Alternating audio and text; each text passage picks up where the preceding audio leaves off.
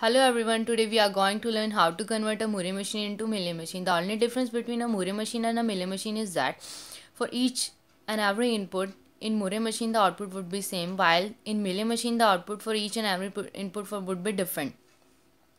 Now consider this example and came to know how in few steps we can convert a Moore machine into Mealy machine. As we know that in Moore machine the output would be same either input is 0 or input is 1 these are the present states q0 q1 q2 and q3 q0 is initial state. Now the trick is that make another table as it is. The present state would be same.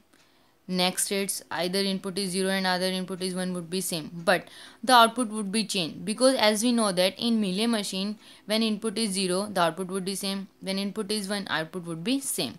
Now make another table here. This is a new table in Mealy machine when out when input is 0 output would be like that. When input is 1 the output would be like that. Consider these states as present state. Go back to table 1 and see their corresponding output here and mention their output here.